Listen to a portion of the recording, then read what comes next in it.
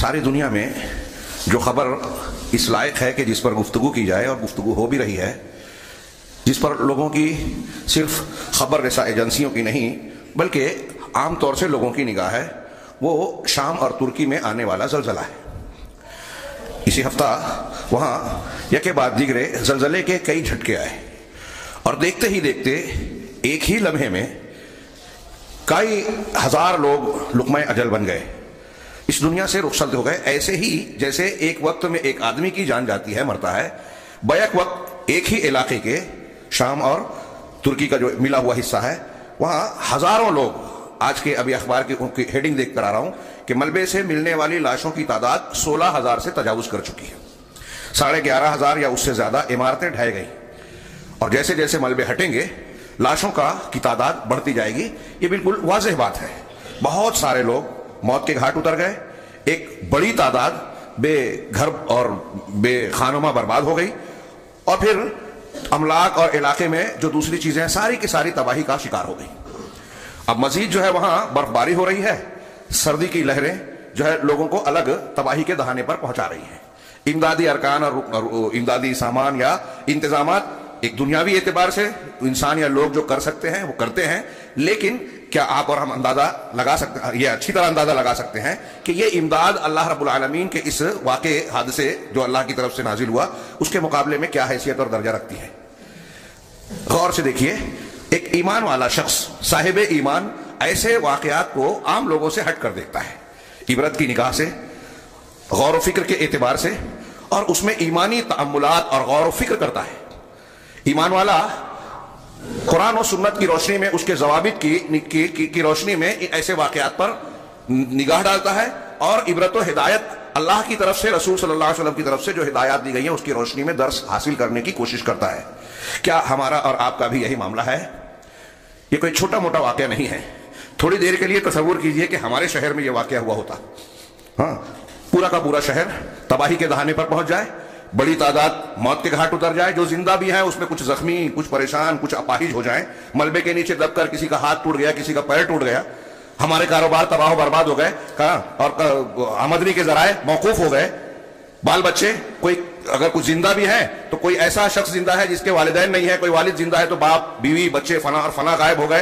कोई छोटा बच्चा है, मलबे में एक ऐसी औरत भी दबी रही कि वो हामिला थी, उसकी विलादत हुई बच्चे की, वो खुद मर गई, बच्चे को निकाला गया। ऐसे और भी बहुत सारे वाकयात। ये हमको इस बात का की दावत देते हैं कि हम इन वाकयात पर ईमानी एतबार से, इस्लामी तालीमत की रोशनी के एतबार से गौर फ़िक्र करें। अब हम गौर फ़िक्र करें तो पहली बात, दो तीन दुरुस सिर्फ़ अगर हम समझ लें तो ये वाकयात हमारे लिए बहुत अहमियत के हामिल होते हैं। हाँ एक मुसलमान वो होता है या अकलमंद वो होता है हदीस के जबान में जो दूसरों के नतज और अंजाम से सबक लेता है और जो दूसरों से सबक नहीं लेता, वो खुद दूसरों के लिए सबक बन जाता है। अकलमंदी यह है कि हम सबक लेवे वाकयात से, ना कि हम ऐसे बने कि अल्लाह हमें दूसरों के लिए इबरत बना दे। चुनाचे, इस तनाजुर में सबसे पहली चीज़ जो गौर करने की है वो ये कि इस किस्म के वाकयात में अल्लाह रब्बुल आलमीन की कुदरत कामिला का मुजाहरा होता है। वो हर चीज़ पर कादिर है और अल्लाह की कुदरत और ताकत के सामने दुनिया की तमाम ताकतें बेबस है। कोई कितनी भी तरक्की कर ले, कैसी भी हुकूमत, असबाब, दौलत हासिल कर ले अल्लाह रब्बुल आलमीन के फैसले के सामने वो टिक नहीं सकता। हाँ? अल्लाह हर चीज़ पर कादिर है। अल्लाह तबारक इस चीज़ पर भी कादिर है कि वो जैसे चाहे ऊपर से नीचे से दाएँ से बाएँ से अपना अजाब ले आए। अल्लाह आलमीन ने सूरह अनआम में फरमाया कुल हुवल हाँ अजाब मिन फौकिकुम औ मिन तहत अर्जुलिकुम। अल्लाह तबारा आप कह दीजिए लोगों से कि अल्लाह ताला इस बात पर कादिर है कि वो तुम्हारे ऊपर से अजाब ले आए।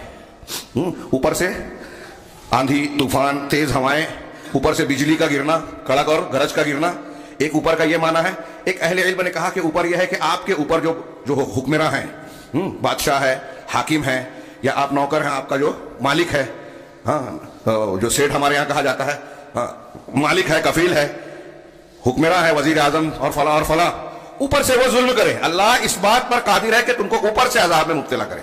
और मिन तख्त अर्जुलिकुम या तुम्हारे पैरों के नीचे से तुम्हारे पैरों के नीचे से अजाब में मुब्तला करे। पैरों के नीचे से ज़मीन फट जाए बारिश हो सुनामी आए या ये जलजले आए जो अभी आया। और आदमी या उसकी इमारतें और उसके सारे असबाब ज़मीन में धस जाए। खसफ हो जलजला हो ये नीचे से अजाब की शक्ल है। अल्लाह तबारक अल्लाह के रसूल ने सुबह शाम के असकार में जो दुआएँ सिखाई उसमें है ना एक कि अल्लाह मैनी का मिन आ, क्या है आखिरी जुमला है वह आउजुब अजमत का मिन तहती। कि मैं इस बात से तेरी तेरी अजमत के वास्ते से तेरी पनाह में आता हूँ, तुझसे ये बचा माँगता हूँ कि मुझे नीचे से, मुझे अचानक जो है हलाकत का सामना करना पड़े। नीचे से हलाकत की एक शक्ल यही है कि जलजला आ जाए। उससे पहले है कि ऊपर से, दाएँ से, बाएँ से, हर तरफ़ से परवरदिगार मुझे नहीं, अल्लाह के रसूल ने हमें दुआएँ सिखाई। और मैं अक्सर कहा करता हूँ कि अल्लाह और रसूल ने जो रोज़मर्रा की चीज़ें हमें बताई है, वो हमारी ज़रूरत है। हम नहीं करते तो किसी का नुकसान नहीं, अपना नुकसान करते हैं। तो ये हमारी ज़रूरत है। तो यहाँ अल्लाह ताला कह रहा है सूर्य नाम की आयत है ये, कि अल्लाह इस बात पर कादिर है कि ऊपर से तुम पर अजाब मुसलत करे, या नीचे से तुमको अजाब में मुबतला करे। और बिसकुम शियान वयूजी कबादकुम बासबाद या तुमको मुख्तलिफ़ ग्रोहों में बांट देवे, खलत मलत कर देवे, तकसीम कर देवे, फिर एक दूसरे के हाथों, एक दूसरे की लड़ाई का मज़ा चखाए।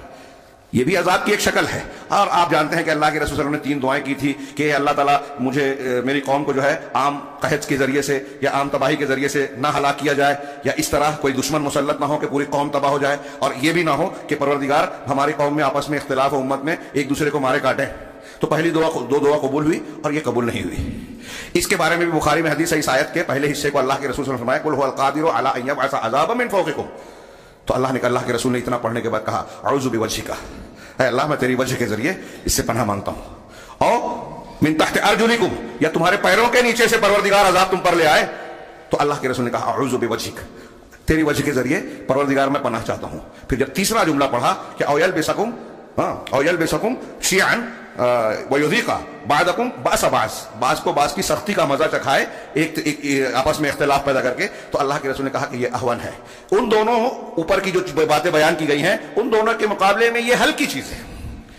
लेकिन ये भी अल्लाह के अजाब की एक शक्ल है। अब गौर कीजिए इस आयत के आखिर में अल्लाह तबारक ने बयान किया कि उनजुर कैफन उसरफुल आयात लाहम यफ़ून आप ये देखिए कि हम किस तरीके से अपनी निशानियों को बयान करते हैं ताकि लोग समझें। फिक हासिल करें। क्या समझें? अल्लाह तबारक ताला की पैदाइश पैदा करने की हमत को समझें। इस कायनात की हकीकत को जाने। अल्लाह की कुदरत तामा और अपनी बेबसी और हकीकत को समझें, ताकि लोग समझें कि अल्लाह ताला ने हमको और आपको क्यों पैदा किया। इसलिए पैदा नहीं किया कि दुनिया में खाने पीने की जानवरों की तरह सिर्फ़ उसी पर इक्तफा करें। इसलिए पैदा नहीं किया कि दुनिया में मस्त होकर अल्लाह और आखिरत को भूल जाएँ। बेमकसद अल्लाह ने पैदा नहीं किया। मकसद इसलिए है कि तुम्हारी आजमाइश करे। मकसद यह है कि तुम तोहीद और उसके तकाजों पर पूरे उतरो। शिरक और शिरक के मुखालिफिन का रद्द करो। जानवरों की तरह खाना, पीना, ज़िंदगी गुजार देना, अपने बाल बच्चों में मस्त रहना यह ज़िंदगी इंसान की या मोमिन की नहीं है। समझो, परवरदिगार ने तुमको क्यों पैदा किया? जिस दुनिया और दुनिया के चक्कर में तुम भिड़े हुए हो, आन की आन में इस तरह तबाह हो सकती है। ऊपर से नीचे से अजाब आए, जिसको तुमने साल हा साल की मेहनतों से बनाया है अपना घर, बार, कारखाना, सब तबाह हो सकता है। गौर कीजिए, ऐसा जो तुर्की और शाम में आया, वो हमारे घरों में भी आ सकता था। और आ सकता है। चुनान से अल्लाह ताला कह रहा है कि इस पर गौर करें। हाँ अल्लाह तबारक ताला क्यों भेजता है ये चीज़ें? ये भी बयान किया कुरान में मुख्तलिफ़ मकाम पर। अल्लाह का ममान सलूबिल आयात अल्लाह तखवीफा। कि हम ये निशानियाँ जो भेजते हैं, इस किस्म के वाकयात और हवादिस जो रूनुमा होते हैं, ये तखवीफ के तौर पे है लोगों को डराने के लिए कि लोग अपनी नींद से बेदार हो जाएँ, जाग जाएँ, दुनियादारी में, हरामखोरी में, बेईमानी में, अल्लाह और उसके रसूल की तालीमत से गफलत में जो गुजार रहे हैं, उससे बेदार हो जाए। क्या हमारे ऊपर इस तरह का कोई असर फ़र्क पड़ता है? जल्दला आ गया खबर है, थोड़ी देर के लिए, ये फितरी बात है कि इंसान के जहन में डर भी पैदा होता होगा। कि हमारे यहाँ आया होता तो क्या होता? लेकिन दूसरे ही आन, दुनियादारी में इंसान जो काफ़ी गाफिल होता है ना वो अपने आप को तसली देता है कि हमारे यहाँ तो नहीं आया ना। वो लोग बहुत बुरे थे हम नहीं है। वो ऐसे थे हम नहीं है। वहाँ ये वजह थी हमारे यहाँ नहीं है। हाँ अभी आगे हम ये भी जानेंगे कि ये क्यों आता है। वहाँ थोड़ा सा जायजा लें अपने समाज का अपने आप का अपने घर का कि हम कहाँ जा रहे हैं। क्या हम अल्लाह के आजाब को दावत नहीं दे रहे हैं? यहाँ मुसलमान को चाहिए कि गौर करे। इन आयतों के अल्लाह तबारक कह रहा है कि हम ये आयतें तखवीफ के तौर पर नाजिल करते हैं। तो एक मोमिन बंदे को चाहिए कि गौर करे कि ये तखवीफ वहाँ आई, हमको डरा रहा है, हमारे ऊपर आ सकता है और दूसरों को डराया जा सकता है। जो उनको लाहिक हुआ हाँ जलजला, और हज़ारों की तादाद में मौत के घाट उतर गए और उनके घर, बार, मकान, कारोबार और न जाने क्या क्या तबाही हुई और सिलसिला भी जारी है। थोड़ी देर के लिए वहाँ रखिए अपने आप को। हमारे भाई बंद बड़ी तादाद में है वहाँ हाँ मुसलमान कहलाने वाले हाँ। उनके ऊपर जो भी विपता गुजर रही है, अपने आप को वहाँ रखें। सोचें, कोई मामूली बात नहीं है। और इसमें इबरत नसीहत का बहुत बड़ा पहलू है। लेकिन हम ऐसा महसूस करते हैं, गौर कीजिए, देखिए, कि हमारे इर्द गिर्द में लोग इबरत नसीहत की बजाय ज़्यादा से ज़्यादा उसके खबर के ताल्लुक, खबर पर नज़र रखते हैं। ज़्यादा से ज़्यादा ये देखते हैं कि इसके फला फला असबाब है, साइंसी और फला और फला। एक मोमिन बंदा सिर्फ़ साइंसी वजह, सियासी वजह और फला और फला वजह दुनियावी नहीं देखता, बल्कि वो सबसे पहले ईमानी और रूहानी वजह देखता है। कि इसके पीछे कायनात का हमारा आपका यकीन है कि एक पत्ता भी अल्लाह की मशीयत और हुक्म के बगैर नहीं हिलता। ये कैसे हो सकता है कि इतना बड़ा हादसा और वाक्य हो जाए? क्या अल्लाह रब्बुल आलमीन की मशीयत के बगैर हुआ? नामुमकिन बात है, ये हमारा ईमान और अकीदा है कि अल्लाह के फैसले से ही सब कुछ होता है। अब असबाब चाहे जो हो, वो असबाब का मुसबिब भी रब्बुल आलमीन ही है। लिहाजा असबाब को पैदा उसी ने किया नतज उसी की तरफ़ से है। तो असल कुत और ताकत अल्लाह की है। अल्लाह हर चीज़ पर कादिर है और उसका कोई फैसला, कोई हुक्म बगैर हिकमत के नहीं होता यह भी हमारा ईमान है, वो हकीम है। हिकमत और मजबूती से करने वाला हर काम को। तो क्या ये जलजला, ये तूफ़ान, फिर उससे जुड़ी हुई चीज़ है जो अभी हमने आयत पढ़ी कि वो इस बात पर कादिर है कि तुम्हारे ऊपर से अजाब ले आए तो उसमें जो हुक्मेरा तबके की तरफ़ से, नीचे की तबके की तरफ़ उसमें एक ये भी मफहूम है कि हुक्मेरा तबके की तरफ़ से हमारे ऊपर जो तंगियाँ की जा रही है, कवानीन बनाए जा रहे हैं, घेरा जा रहा है, ज़िंदगी के मसाइल में रुकावटें डाली जा रही है माशी तंगी, मंदी, कसाब बाजारी की सूरत हाल पैदा की जा रही है। हम असबाब चाहे जो बयान करें, ये अल्लाह ताला का ऊपर से तो दोस्तों, ये वीडियो आपको कैसा लगा? अगर अच्छा लगा तो इस वीडियो को लाइक कीजिए और इस चैनल को सब्सक्राइब कीजिए।